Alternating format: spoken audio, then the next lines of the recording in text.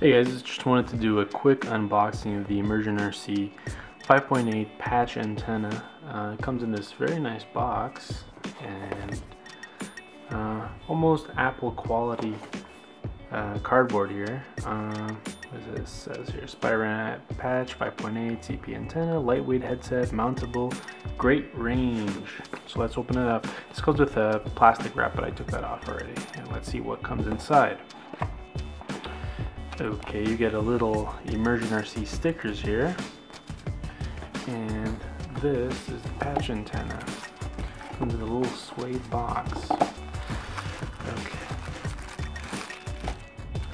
So, this is the patch antenna. Can you hear that rattle? I hope that uh, it's not broken. No, it must be just the SMA connector. It rattles a little bit. So this is what it looks like. They do say you can mount this on your uh, headset. I don't know how, if that would look ridiculous, but we can try that out. Um, let's compare the size here. So these are the goggles, and this is the patch antenna. Uh, it does look a little bit goofy. Not that uh, anybody looks good with uh, FPV goggles. Alright guys, this is what it looks like with it uh, mounted on the goggles. Um, I do wish that this would face like forward so that you could face the direction that you're, you're going to be flying in.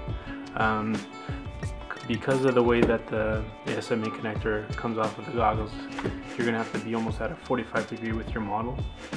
Uh, it's also pretty hard to put this on. You need a wrench, a little wrench. Uh, this is uh, 8 millimeter to, to tighten this on. You won't be able to tighten this by hand. Uh, but this is what it looks like.